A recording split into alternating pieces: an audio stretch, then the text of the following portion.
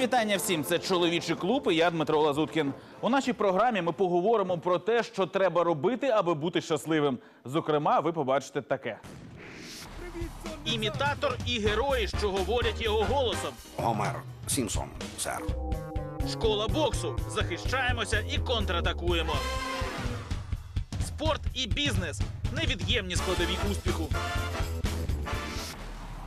Копіювати чужі голоси, вловлювати інтонації інших. Це особливий талант, котрий може приносити і радість, і гідний заробіток.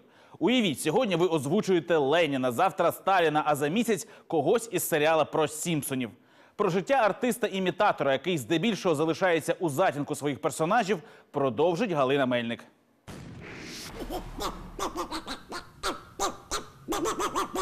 Такий звучав. Доктор звук, друге ім'я Юрія Коваленка. Він єдиний професійний вітчизняний актор-імітатор, дворазовий рекордсмен книги рекордів України. Більш за все, Юрію подобається імітувати звуки живої, неживої природи. А захоплення це родом ще з дитинства. Село Шевченкове в Одеській області, де народився Коваленко, багате великим різноманіттям флори і фауни. що біля мене десь там. То я йому відповідав так, так, також. І розумів, що я входжу в гармонію, чи там якась жабка це була там, чи ще щось таке. Згодом імітатору почали підкорюватися все нові звуки та голоси. Кілька років тому він навіть видав свій диск, де говорить голосами політичних діячів ХХ століття. В арсеналі актора Ленін, Сталін, Гітлер. А незабаром додасться Микола II, над тембром якого Коваленко працює з того часу, як відшукав рідкісні записи. Спектр роботи широкий від озвучки документальних і художніх фільмів до рекламних роликів. Втім, найбільшу матеріальну винагороду приносить концертна діяльність, коли актор демонструє свої неординарні вміння. У мене мистецтво не розсмішити, а здивувати.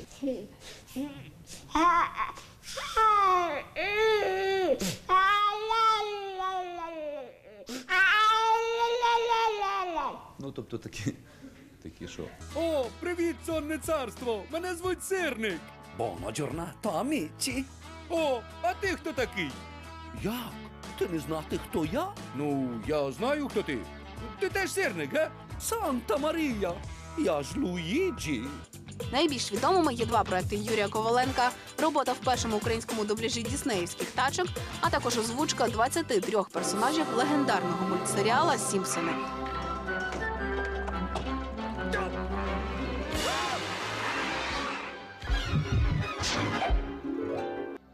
З вами Кент Брокмен, і ми ведемо передачу про невгамовних Сімпсонів.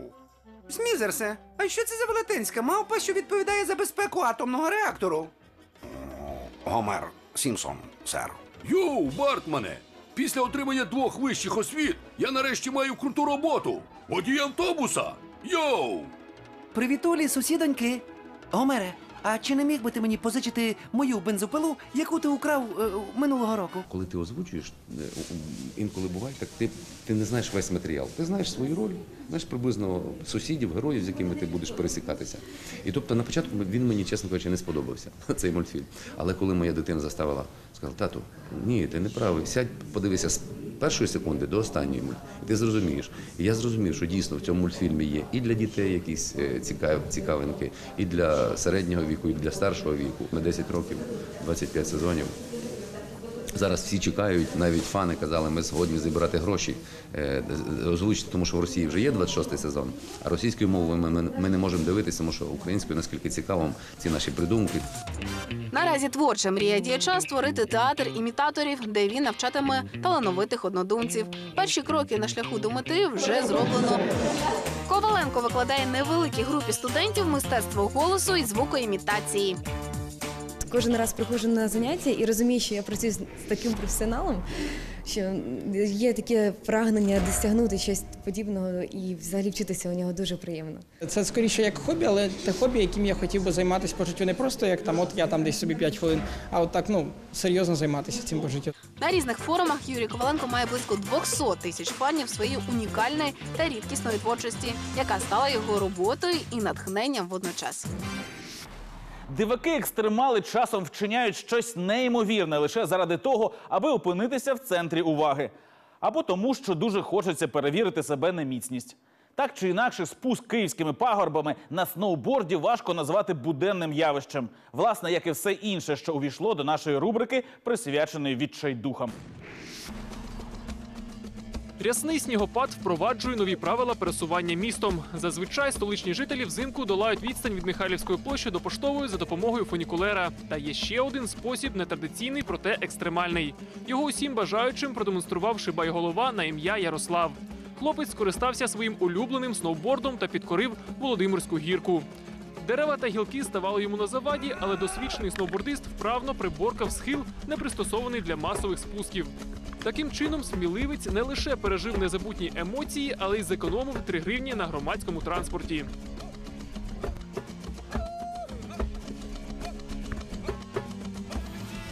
А цей винахідник з Великої Британії не зміг сидіти на місці, побачивши сніг. Для зимових витівок Колін обрав скутер для людей з особливими потребами.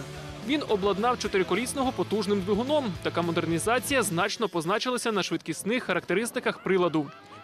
Виконуючи викрутаси на оновленому скутері, Колін не лише був схожий на справжнього дріфтера, а й зумів розігнати залізного коня до непритаманних йому 112 км на годину. Навіть вівці позаздрили гонщику, коли той пролетів повз них на шаленій швидкості. Усе б нічого, але тепер його бабуся навряд чи зможе приборкати цього монстра. Позбувшись будь-яких побоювань, цим відчайдухам з Америки прийшла у голову думка підкорювати сніжні трампліни на старих горбатих автівках. Аби зберегти здоров'я та залишитися цілими, вони здогадалися вдягнути шоломи, а машини обладнали міцними рамами. Останні приготування перед стартом і поїхали.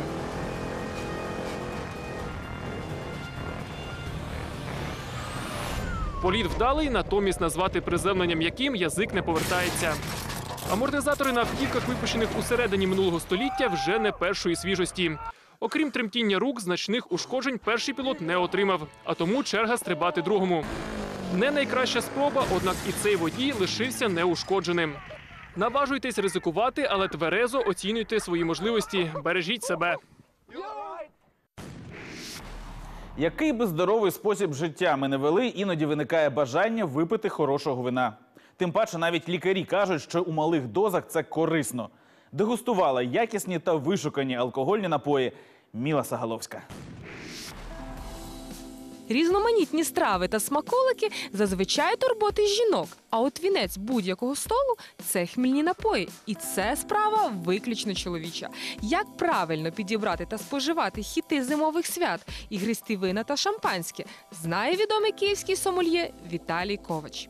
На самом деле очень важно понять э, для себя, какой тип игристых вин нравится. Потому что вот есть в основном э, две такие большие категории, они отличаются между собой по технологии производства и в результате в плане аромата и вкуса абсолютно отличаются. Как правильно держать бокалы? А держать нужно за верхнюю часть ножки, ибо нижняя часть ножки это для обслуживающего персонала. Соответственно, ваши отпечатки пальцев не должны пересекаться, это правило номер один. И второе, ни в коем случае за чашу не держать, потому что вы нагреваете таким образом напиток. Как нужно правильно пить вино? С чем его пить точнее? Есть много образцов, к примеру, данный образец. Его можно применить в первую очередь как аперитив, то есть без ничего, просто подготавливаться к хорошей там трапезе или какому-то веселью. А если мы говорим про вина более мощные в плане аромата и вкуса, то есть те, которые вы действительно ощущаете, у них, как правило, там больше танинов, если это красный, или больше минералов, если это белый, то такие, блю- э, такие вина требуют дополнительное сопровождение, то есть некие блюда. Соответственно, если у нас легкое вино кислотное, к нему должна быть рыба более жирная. Если у нас красное вино, которое есть танины, к нему должно быть более интенсивное блюдо, это, допустим, мясо, но более жирное. Вот шоколадку какое вино лучше? Спасибо большое за вопрос. Это, знаете, трагедия всей страны. Все магазин, покупаем бутылку вина Бутылка и и обязательно шоколад. А, самая большая ошибка, наверное, существующая в мире потребления вина, особенно в нашей стране, потому что, как правило, в знак благодарности покупают действительно, как вы говорите, бутылку игристого вина, причем иногда даже уже эффектную, и шоколадные конфеты или просто шоколадку. Ни в коем случае нельзя такое сочетание по той причине, что шоколад это все-таки основа какао, мы это понимаем, и он имеет горчинку.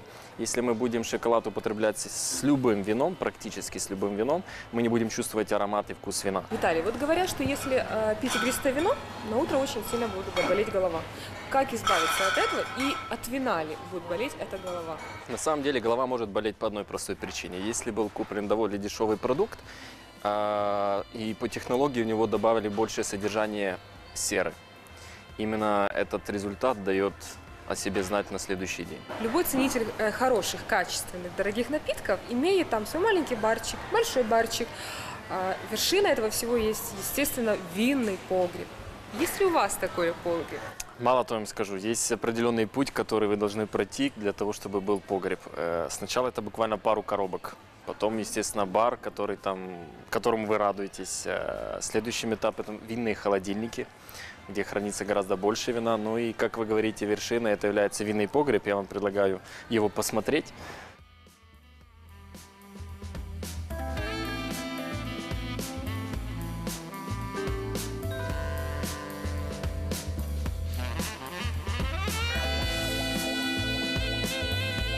Такі здійснюються, доведено справжнім поціновувачем вин. Тож нехай життя вам дарує стільки щастя, удачі та любові, скільки бульбашок вміщує пляшка хорошого шампанського. Як завжди, ми підтримуємо вас у бажанні мати гарну форму та вмінні дати відсіч кривникам. У кращих традиціях американської школи боксу сьогодні наші експерти продемонструють, як правильно діяти у контратаці. Дивимось.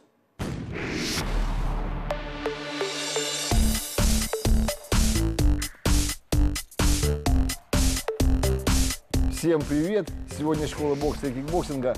И в этом выпуске мы вам покажем ответные контратаки и некоторые комбинации. Сегодня мы рассмотрим ответные контратаки. Еще есть встречные.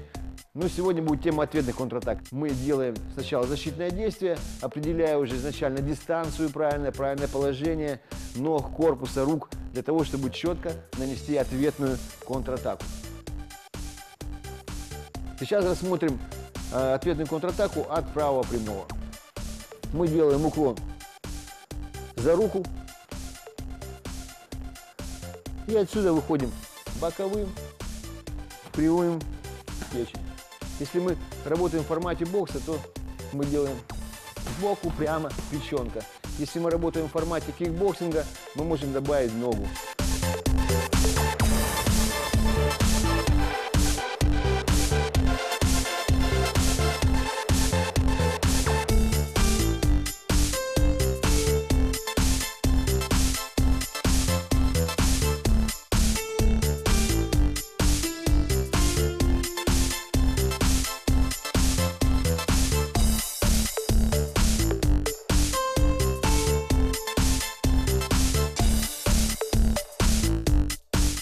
Сейчас ответная комбинация э, контратака от левого бокового. Нырок, выход. Правый прямой, боковой, прямой, ногой закрыли. То есть если в формате бокса делаем три удара. Еще. В формате кикбоксинга добавляем ножку. Внутрь или голова.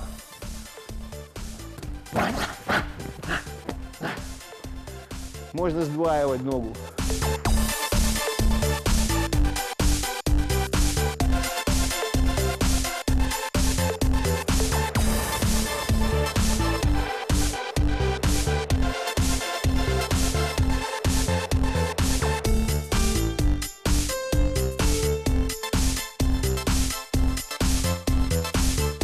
Сейчас э, ответная контратака. После удара в печень мы сразу даем с подставки ответный апперкот, боковой. И сразу делаем на выпаде в сторону кросс. Правый со смещением на скольжение. И можно добавить ногу.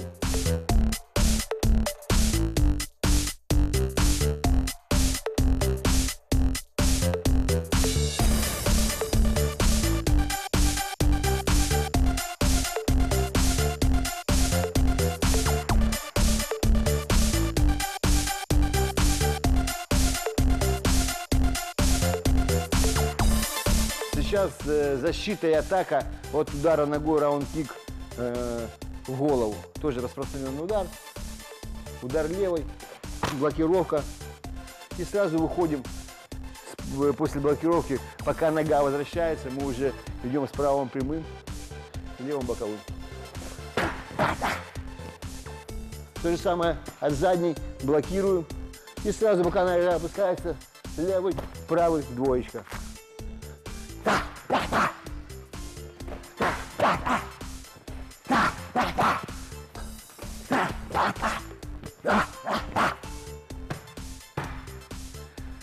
была школа бокса и кикбоксинга. Мы отработали ответные комбинации. Смотрите наши следующие новые выпуски. До новых встреч! Великий спорт і великий бізнес про те, як свідомо перепліталися долі відомих спортивних команд і направлених на їхній розвиток фінансових потоків, розкаже Арсеній Овсянніков. Цю поважну людину звати Дітмар Хоп. Колись він намагався розпочати футбольну кар'єру, але знайшов себе у підприємництві. Зараз Хоп є одним з найбагатших німецьких бізнесменів. Його статки оцінюються приблизно у 5,5 мільярдів євро. 25 років тому тоді ще не дуже багатий чоловік почав фінансувати футбольний клуб, за який у юності грав. Ця команда називалася Хофенхайм і грала в одній з найнижчих ліг німецького чемпіонату. Перша інвестиція Дітмара склала 10 тисяч марок, на які були закуплені нові м'ячі та тренувальне обладнання. Хофенхайм, який представляв село з населенням 3 тисячі чоловік, розпочав свій шлях на верхівку. За 17 років, погравши у шести різних чемпіонатах, команда вперше в історії пробилася до Бундесліги і одразу змогла фінішувати на сьомому місці. Виступ у найвищому дивізіоні змусив Хопа виділити 60 мільйонів євро на будівництво нового стадіону на 30 тисяч осіб. До цього клуб виступав на невеличкій арені, названій на честь свого президента. Нині Хофенхайм є міцним середняком Бундесліги. На домашні матчі команди, котра переїхала до міста Зінсхайм, збираються аншлаги. Сільський клуб став одним з найбільш успішних проєктів в житті Дітмара Хоппа. При цьому 75-річний бізнесмен не готовий витрачати величезні суми на зіркових гравців. Хоча за 25 років мільярдер за різними оцінками витратив на команду від 150 до 200 мільйонів євро, нині його проєкт став прибутковим. Кожен наш трансфер здійснюється з врахуванням економічної ситуації у клубі. Якщо тренер скаже мені, що йому потрібно 20 чи 30 мільйонів на якогось гравця, я скажу, що таких грошей у нас немає. Я не хочу марно витрачати активи клубу. Ще один відомий спортивний бізнесмен англієць Берні Еклстоун. Бос Формули 1 свого часу брав участь у змаганнях у якості гонщика, але без особливих успіхів. Спробувавши себе у ролі менеджера пілотів і власника цілої команди, Берні поступово захоплював владу у королівських перегонах. Його контроль над Формулою 1 фактично розпочався з продажу телевізійних прав. Англійський підприємець за майже 40 років перетворив змагання, котрими цікавилися переважно ентузіасти, в одне з найяскравіших і найдорожчих видовищ. Еклстоун привів у гонки крупних спонсорів, і зараз 85-річний бізнесмен продовжує керувати найшвидшими змаганнями на планеті. Я перебуваю в привілейованій ситуації. Якщо мені чогось не вистачало, я міг це отримати. Я не вважаю, що в чомусь програв. Якщо мені щось не подобається, я в ту ж хвилину перестаю цим займатися. І крапка. Велоспорт не настільки багатий, як гонки Формули 1. Спонсори професійних команд зазвичай змінюються, проте приклади довготривалого співробітництва тут все ж присутні. Фірма Quickstep фінансує одноіменний бельгійський колектив вже 18 років, ставши одним з найуспішніших проєктів у світовому велоспорті. Перемоги гонщиків на чемпіонатах світу та на етапах найпрестижніших перегонів це підтверджують. Сьогодні Quickstep – це бренд, який завдяки велокоманді став відомим на весь світ. Це є зайвим доказом того, що не лише бізнес потрібен спорту, а й навпаки.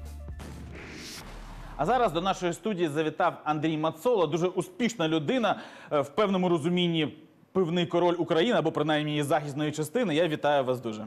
Доброго дня.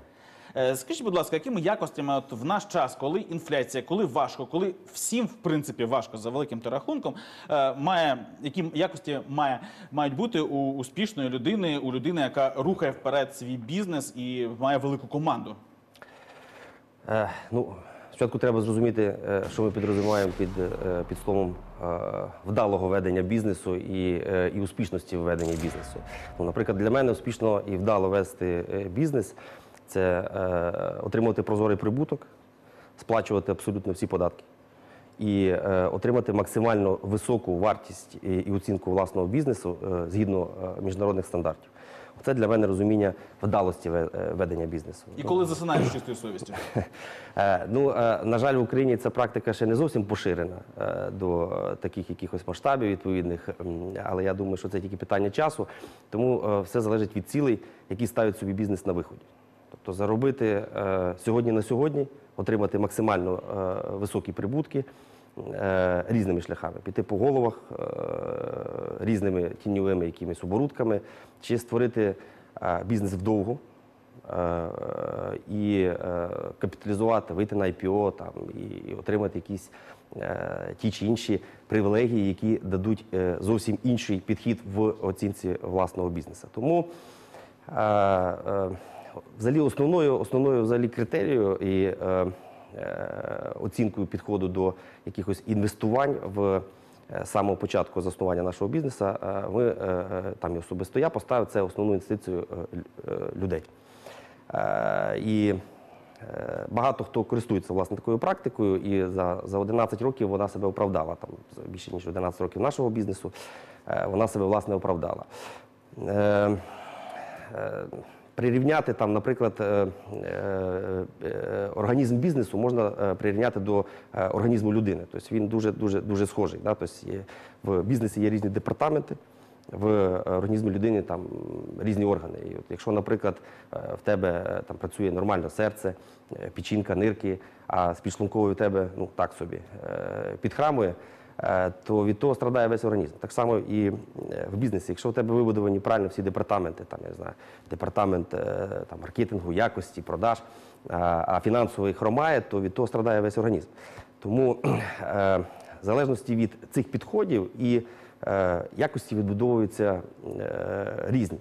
Тобто, якщо е, всюди на кожній ділянці добре, то і загальна справа має в принципі бути успішною, так? Ну, все залежить від кінцевої цілі. Ще раз кажу. Якщо, наприклад, будувати бізнес вдовго, то ти повинен вибудовувати е, команду людей, з якими ти повинен йти е, цим шляхом. Якщо ти в короткострокову е, якусь перспективу хочеш збагатитися, то тобі люди практично не потрібні. Вони ти їх використовуєш як такий тимчасовий інструмент. А от важливо бачити кінцеву мету.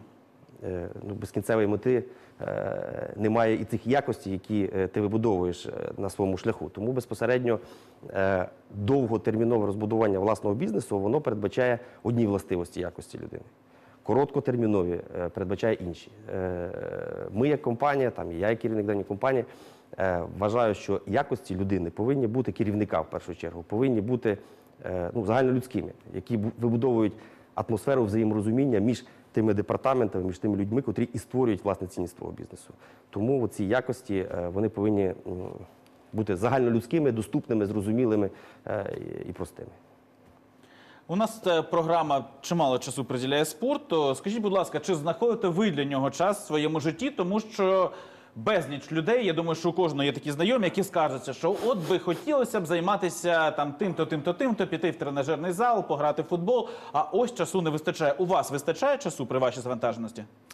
Ну, часу, як завжди, е, звісно, обмаль, але я рахую так, що кожна людина, е, незалежно від того, чим вона займається, вона повинна займатися спортом. Тому що там, там ті науковці там, чи медики, вони ну, по-різному трактують. Кожен каже, 3 кілометри людина в день повинна рухатися, хтось каже 5.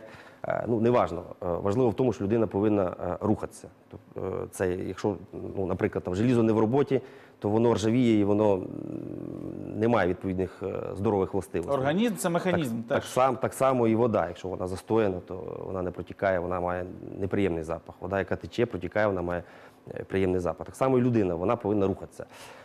І, е, власне, в співбесідах е, при прийомі на роботу я дуже часто і в основному майже в кожній е, такій співбесіді запитую, чи займається людина спортом, будь-яким спортом. Тому що якщо тебе щось болить коле, ти не завжди е, можеш адекватно Всі е, думати, працювати, і, е, і це відповідно впливає на результат. Тому спорт це дуже важлива складова в будь-якій роботі, особливо бізнесу, коли навантаження і моральні, і психологічні досить таки високі. І, власне, іти тим шляхом зняття безпосередньо цих відповідних нагрузок це дуже важливо.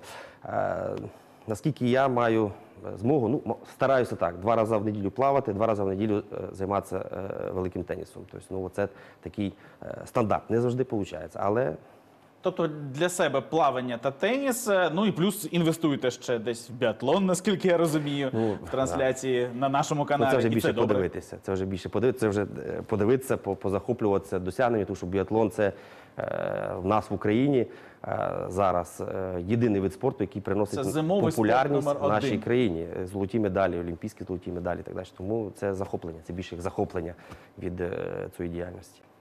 Ми живемо зараз ну, в такий відверто непростий час. Кажуть, от, ну, а коли були прості часи, але зараз ну, відверто непростий, тому що ну, життя людей змінюється, хтось е, стає волонтером, хтось іде на війну добровольцем, при тому, що до того ніколи в руках не, не тримав зброї. Святі отці їдуть військовими капеланами на фронт. Знову ж таки, яка в цей час, е, на вашу думку, соціальна функція бізнесу? Ну, якщо подивитися, там е, держава, там, котра може себе захистити, чи успішна держава в рамках е, якогось міжнародного визнання, це перш за все багата держава. Якщо держава е, не має змоги і не має коштів закупити обладнання, військове обладнання, е, якусь різну амуніцію, техніку, е, ну, вона не зможе себе захистити. Для того, щоб закупити ці всі атрибути, звісно, потрібні кошти. В нашій там, державі, як і в інших державах, кошти держава отримує методом надходження в бюджет. Ті кошти в бюджет забезпечує бізнес. Тому бізнес є тим фундаментом, на який і будується е, вся така життєдання система е, діяльності країни, в тому числі і обороноздатна. Якщо бізнес не оплачує е, податки, тоді немає змоги закупити ті чи інші атрибути для захисту країни. І моя думка, що власне в такий період часу, складний період часу, бізнес, який не оплачує податки, ну, можна їх навіть десь прирівняти до якихось військових мародерів, тому що вони насправді там люди е, е, усуваються від своїх е, обов'язків. Е, а ті, я вже не хочу говорити за тих, які крадуть реально якісь кошти, які Тобто е, ми знову повертаємося до йти на- прозорості бізнесу, так? Е, Ну, ми до неї повернемося тим чи іншим е, шляхом, тому що ми вже прийняли рішення інтеграції в Європу. А що таке Європа, європейський бізнес? Європейський бізнес це е, десятки, сотні тисяч невеликих підприємств, які е, забезпечують життєдіяльність е, е, європейських країн. І вся Європа будується власне на такому бізнесу.